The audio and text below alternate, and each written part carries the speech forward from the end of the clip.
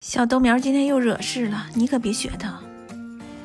是你家快递吗？你老人家拿快递你就嚷嚷人家，追人家干嘛呀？我没训小花生，你还护着他。别追我，我生气了。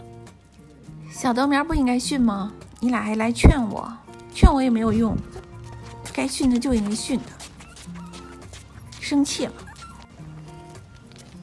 别生气了，他俩来劝我来了。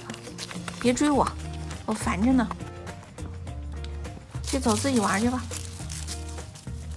你还好意思过来你？人家拿快递碍你啥事了？你的快递呀，你家快递呀，你不让人拿？来送快递的他也汪汪，人家拿快递他也汪汪人家。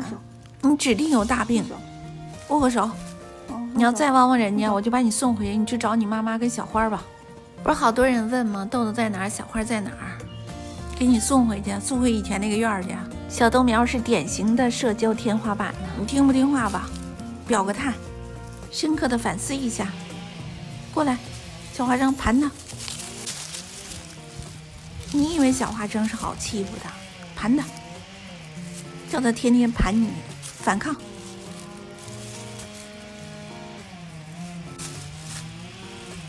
对，咬他脖子。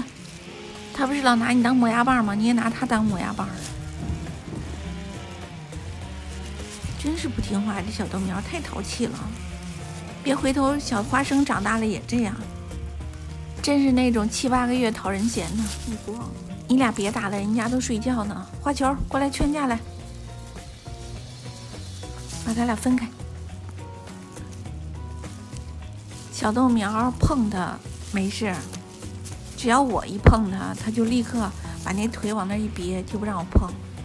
回去吧，上后院玩去，消停消停。我一靠近，它妈妈立刻就出现，截在前面。